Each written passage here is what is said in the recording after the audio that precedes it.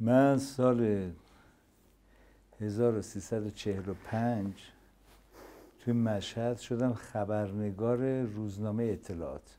چل... که 15 سال 15 سالم اون چجوری اومد؟ یعنی چجوری شدید خبرنگاره یعنی توسط چه کسی؟ به توسط چه خودم. دوست داشتم چون روزنامه ها رو نگاه می‌کردم روز رفتم نمایندگی روزنامه اطلاعات. گفتم که من علاقه مندم که این کارو بکنم. بعد اونا گفتن که خب مثلا چی کار بلدی؟ گفتم هر چی شما بگی من بلدم. خب بعد از این پرروییم خوششون اومد. بعد دیگه می‌رفتم خبرهایی که تو محله بود و جمع می‌کردم. تو دبیرستان مثلا یه اخباری بود جمع می‌کردم. و چون توی عضو گروه تئاتر در واقع پارت مال برادر من بودم اخبار هنری رو بعد یواش شروع کردم جمع کردم براشون میفرستن که بیشتر دیگه اون وقت رفت توی این سمت. درست. که اخبار هنری و تئاتری و این خبر رو ولی وقتی که عکس منو چاپ کردن بعد گفتن یه عکس بده چاپ کنیم. من بودو بودو رفتم یکی از دوستای عکاسمون بود. گفتم ببین یه عکس هنری از من بگیر. گفتش که چجوری؟ گفتم هنری دیگه خودت بهتر می‌دونی. بعد اون نصف صورتم رو تاریک کرد نصف صورتم رو آره روشن. دیگه کلاسیک. اون موقع دیگه عکس هنری این بود. بعد که دادم گفت آخه این چیزی دیده نمیشه. خب. ما عکس تو رو می‌خوام چاپ کنیم. بعد یه عکس دیگه گرفت که اونو چاپ کرد اونم یه مقدار کنتراستش بالا بود. بعد یادمه که اونجا مسجد محل ما اومده بودن به بابام گفته بودن که این عکس پسر تو چاپ شده و پسرت معتاده. بعد اون گفته بود برای چی معتاده؟ گفته لباشو ببین سیاهه. بعد اون بابای من رو گفته بود که نه من مثلا اینو می‌شناسم اینجوری خلاصه یه. مدتی طول کشید تا ما ثابت کنیم معتاد نیستیم. فقط به خاطر اینکه مثلا لبای من سیاه بود. شما متولد تهرانید ولی نه؟ من متولد تهرانم. متولد تهران میدون خراسون مسجد لرزاده. آها. اونجا متولد شدم بعد دیگه حدود یک سال خورده این بود که رفتم مشهد. خب پس نوستالژی. اونجا نداری. نه اصلا هیچ چی یادم نیست که بعدا یه دفعه ما با مجله همشهری رفتیم اونجاها رو گشتیم و به اون قدیمی های اونجا سر زدیم. یه سلمونی مونده بود که اون بابای منو یادش بود. آها. یعنی به خاطر مأموریت پدرت رفتین مشهد؟ نه پدر من مأموریت نداشت چون پدر من کاسبه یعنی کاسب بود. الان نمی‌دونم تو اون دنیا چیکار داره می‌کنه. یادش. ولی. کاسب بود. یه نظری کرده بودن برای امام رضا که اگر اون نظر برآورده می‌شد که بیام مشهد. که اون نظر برآورده شده اومدم مشهد و شانس هم بود چون از دوستای نزدیک طیبه حاج رضایی بود. بعد از اینکه اومد مشهد یکی دو سال بعدش اونا رو گرفتم و مثلا اعدامای اونا شروع شد. این شانس آورد اعدام نشد. بعد چه کار میکردنشون یعنی شغلشون؟ پز بابای من پز بود البته. میگم میگم نمی‌دونم. الان چیکار می‌کنه توی اونور تو بهشت و اینا رو خبر بنابراین مغز و کله پاچه و اینا آره، تو خونه شما فراوون بود. بله، بله. واقعا بود یعنی یا اینکه آره ما زیاد کله پاچه میخوردیم. و هنوزم خیلی دوست دارم. ولی خب دیگه تو این سن و سال رسیدم که دیگه نباید بخورم. به خاطر کبد چرب و نمی‌دونم این حرفا بعد یواش یواش واقعیه این؟ یعنی اصلا یعنی تاثیر داره روی به شدت آره. اوره و غیره اینا. آره متاسفانه. خب. خوشمزه مگه شما خیلی سن داری هنوز سنی نداری آره خودم باورم نیست ولی به هر حال همه دیگه میگن دیگه میگن ما از بچگی یادمونه که شما بازی می‌کردی. یه خب. چندین بار تا حالا شده که یه خانم خیلی پیری یا یه آقای خیلی پیری که حتی با عصا مثلا داره راه میره توی خیابون به من میگه وای من از بچگی عاشق شما واقعا. بعد منم چیزی نمیگم میگم خواهش چقدر عاشق شیفته. داشتین. ببین از بچگی من یادمه. دوست داشتم یعنی دنیای نمایش رو خیلی دوست داشتم. با بابام می‌رفتم سینما بابای من همه سینماهای مشهد. هفت تا بود. این هفته رو هفت روز هفته رو یکی یه فیلم می‌رفت هر روز. کردم بعد منم باهاش می‌رفتم. بعد یادمه که فیلم هایی که سامت بودن و کپشن داشتن وسطش. اینا رو یادمه. من هنوز مثلا فیلم های اولین فیلم های کارتونی که اومد اونا رو یادمه که اونا هم کپشن داشتن وسطش.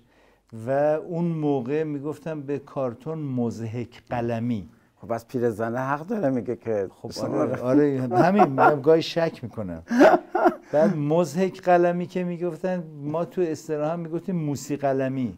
بعدا که بزرگ شدن فهمیدم اون مزهک قلمی بوده که می‌گفتم بعد ادای اونا رو در می آوردم اون موقع یه سری فیلم های چیزم بود سریالی ساخته می‌شد.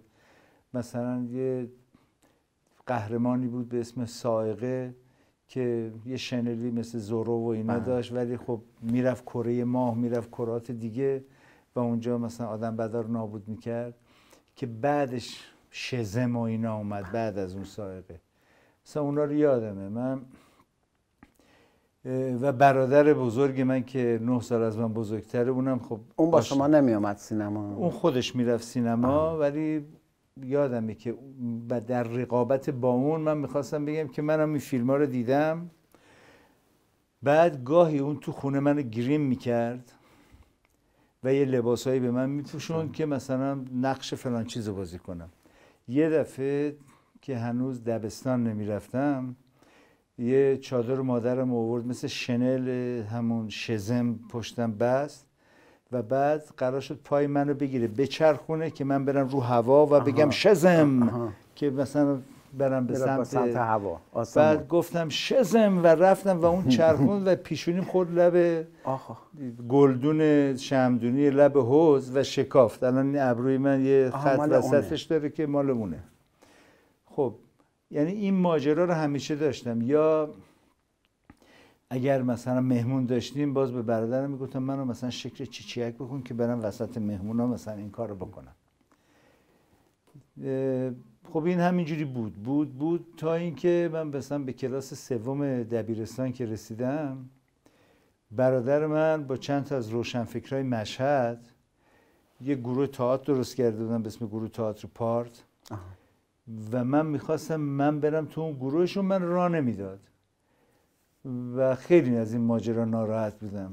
یه نمایشی هم یادم کار کرد توی سالن دانشکده پزشکی مشهد دانشگاه فردوسی که یه پسری رو احتیاج داشت دقیقا همسن من و یکی دیگر رو انتخاب کرد. عجب. و من باید به اون می‌گفتم که یعنی تو دلم می‌گفتم یه روزی به تو ثابت می‌کنم چه خوب کاری که من کرده از اون بهتر بازی می‌کنم. چه خوب کاری کرده. آره بگو ولی زجری که من کشیدم تو نکشید. به همین دلیل. ولی شاید شما رضا کیانیان شو نمیشه شدم بهتر می‌شدم بله. کی می‌دونه؟ نه هر چیزی که راحت به دست بیاد شاید انقدر آخه چرا هم؟ حالا من- من میگم که شاید اگه مثلا من زودتر رو صحنه می‌رفتم تجربتم بیشتر می‌شد و بهتر به می‌شد اندازه یه سال. چرا نه؟ بعدش هم اینجوری. ولی بالاخره زمانی که منو توی یه نمایشی راه داد یه نمایشی بود به مال اسم دکتر سایدی نه؟ آره آها. از پا نیفتاده ها که مال مبارزین مشروطه است جز پنج نمایشنامه مشروطه آقای سایدیه که لوکیشنش یه یعنی صحنهش یه دونه امامزاده است که مجاهدین مشروطه اونجا هم دیگر می‌بینن قرار مداراشون رو می‌ذارن. اولین نقش به من داد من یک زائری بودم که از این ور می اومدم می‌گفتم السلام علیکم مثلا آها. یادم نیست اسم امامزاده رو یا کیک از اون ورم می‌رفتم بیرون. که چند سالت بود؟ این 15 سالم بود.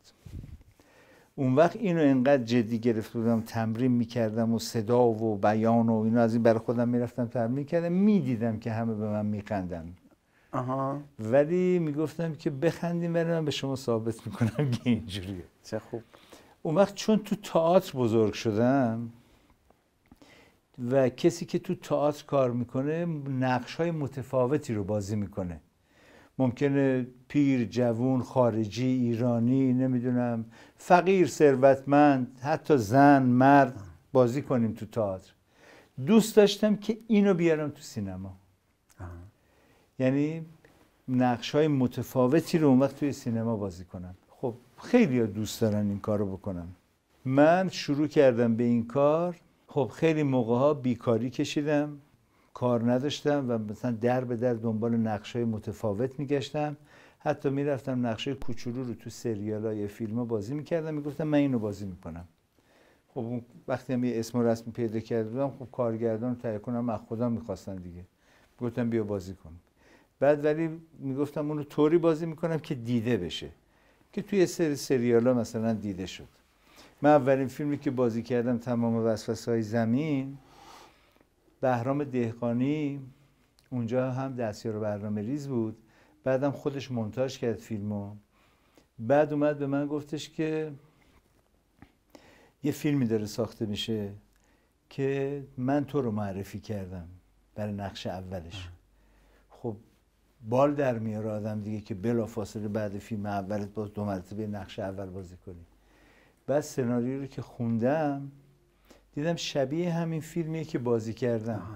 بعد گفتم بازی نمی‌کنم. که بهرام دهخالی گفتش که حماقت می‌کنی خری اگه بازی نکنی. گفتم نه این برای که شبیه اینه. خب در واقع یه آدم اصولگرایی میشم دیگه این شکلی. و بازی نکردم. خیلی هم به من مثلا گفتن که خیلی کار اشتباهی کردی که بازی نکردی. اما یواش یواش مثلا مدتی بعد تونستم برم تو فیلم ایلیا نقاش جوان که هرگز اکران نشد مال ابوالحسن داوودی. اونجا هم طراح صحنش بودم هم طراح لباسش بودم و هم یه نقش کوچیک بازی کردم که یه نقاش دورگرد تو پارکا. و بعد از اون همینجوری دیگه کوشش می‌کردم که نقش متفاوتی بازی کنم. به کوچیک بزرگیش هم واقعا کاری نداشتم.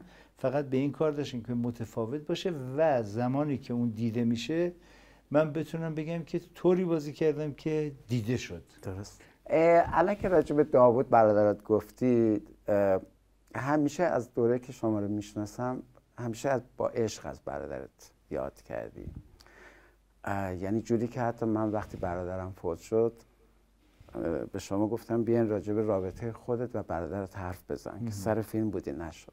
این ادامه بازی تو برای داوود چند تای دیگه ادامه داشت؟ یعنی در حد همون یکی موند یا بازم براش بازی کرد نه براش بازی کردم. بعدش مثلا یه وقتی که مثلا کلاس چهارم دبیرستان یا پنجم دبیرستان بودم یه نقش اول بهم داد آها. که می‌رفتیم با اون نمایش رامسر اون موقع برای که اونو مثلا خودش میگه خوبه و بعدش یکی از اون بچه های دیگه به اسم آقای تقیه رفقی که جز همون روشن فکرایی بود که این گروه رو پایگذاری کردن یه نمایشی کار کرد به اسم باران که اون نمایش خیلی سر و صدا کرد و مثلا روحانیت اون موقع از اون حمایت کرد. خب روشنفکرام حمایت کردن. اولین بار بود که روحانی و زن بیهجاب و اینا همه تو سالن کنار هم میشستن نمایش رو میدن. اونجا اون آقای رفقی دیگه نقش اول به من داد. آها دیگه که بعدش هم دیگه مثلا شروع شد کارم. ولی این کلکل رو من همیشه با این داوود داشتم. ولی واقعا همینجوری که میگه همیشه با عشق ازش حرف می‌زنم. برای که معلم اول من اون بوده. و اون خیلی راه ها رو برای من باز کرده نشون داد و اینا. ولی این کلکل هم داشتیم. مثلا از کلکل من اون بگم خب اون با دوستاش می‌رفت فیلم های مثلا روشنفکری اون موقع ها مثلا برگمن و اینا رو می‌دید. فلینی و اینا. خب من جوجه بودم منو نمی برد اینا می‌رفتن اون فیلم ها رو می‌دیدن بعد میشستن یه جایی که هوشنگ گلمکانی هم خوب یادشه و گفت توی قهوه خونه بود دور فلکه بیمارستان امام رضا. میشستن اونجا چای و سیگار و اینا و بحث می‌کردن راجع به اون فیلم ها بعد می‌خواستن از هر صحنه شش تا معنی در بیارن که اگه اینجا دوربینی حرکت کرد منظورش این بود. اینجا اگه راه پله پیش در پیش نشون داد منظور رحم زنه. نقد فیلم شفاهی بوده. آره بعد اون وقت نقد فیلمم مینوشت اون موقع برای هنر و سینما و اینا که به اسم کیان کیانی نقد مینوشت. بعد اینا رو که می‌گفت من می‌خواستم بفهمم اینا چیه. در نتیجه خلاصه خودم هر جور شد و بهش میچسبوندم به مادرم و اینا یه کار می‌کردم که مادرم میگه خب ببر دیگه این رزارم بعد اونم با عصبانیت منو می‌برد. می‌برد و من را دست اینا می‌خواستم ببینم که چی میگن چرا میگن نقدشون چیه چرا این فیلم خوبه اون فیلم چرا بده؟ خب اینا رو می‌رفتم و تو اون قهوه خونه یادمه. اونا مثلا سیگار میشتن من دود سیگار خفه می‌شدم. ولی چایی هم زیاد خوشم نمی اومد من هنوزم چایی زیاد خوشم نمیاد ولی میشستم به این حرفا اینا رو گوش بکنم چی بود. که با بابات که سینما می‌رفتین بعد که می اومدین راجع به فیلم بحث نمی‌کردین. بابام نه بابام جنس حرفاتون چجوری بود بعد از دیدن فیلم؟ زیاد اصلا حرفی نمی‌زد بابام. من یادم دو دو چرخش میشستم. چهارشنبه ها فیلم ها عوض می‌شد. بله. بعد چهارشنبه که روز تعویز فیلم ها بود تو همه سینما توی خیابون ارک مشهد بود. این با دوچرخه منو میشون جلو می‌رفتیم دونه دونه سینما رو از هر کدوم یه سکانس می‌دید. آها. بعد فرداش دیگه می‌دونید یعنی آشنا بود راش می‌دادن. آره همشون رفیق بود با همه دیگه. بعد خود به خود از مب... یعنی با این سکانس هایی که دیده بود انتخاب می‌کرد که اول کدوم فیلم رو بره ببینه. بعد اون فیلم هایی که در واقع روشن فکری بود و که برادر من می‌رفته من اونا جزا به سرا بلک لیست که اون آخر از سر ناچاری اونم می‌رفت ببینه. درسته. مثلا همین فیلم آگراندیسمانو یه سینمای سعدی مشهد داشت اون سعدی گذاشته بود که سالن تابستونی هم داشت رو پشت بومش.